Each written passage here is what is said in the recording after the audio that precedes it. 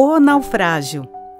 Após um naufrágio, o único sobrevivente de um navio agradeceu a Deus por estar vivo e ter conseguido se agarrar aos destroços e ficar boiando no mar. Este único sobrevivente foi parar em uma pequena ilha desabitada, fora de qualquer rota de navegação e sem qualquer possibilidade de ser resgatado. Mas mesmo assim, ele agradeceu novamente. Com muita dificuldade, ele conseguiu montar nessa ilha um pequeno abrigo para se proteger do sol, da chuva e dos animais, e novamente agradeceu. Nos dias que se seguiram, a cada alimento que conseguia caçar ou colher, que garantia sua sobrevivência, ele agradecia. Mas um dia, quando voltava da sua busca por alimentos, encontrou seu pequeno abrigo em chamas. Havia muita fumaça e, muito, muito desesperado, ele se revoltou. Gritava, chorando: O pior aconteceu, perdi tudo! Deus, por que fez isso comigo? Chorou tanto, tanto, que adormeceu profundamente cansado e inconformado com as chamas.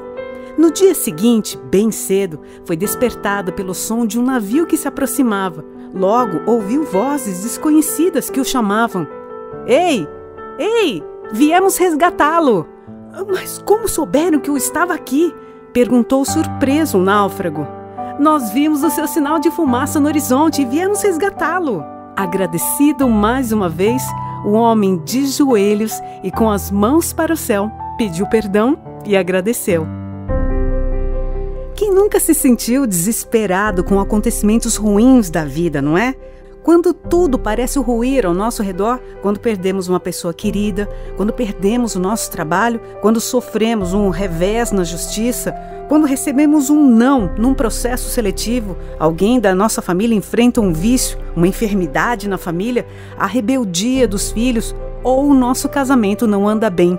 É comum que a gente se sinta assim, desencorajado, quando as coisas não vão bem mas saiba que Deus age em nosso benefício, mesmo nos momentos de dor e sofrimento.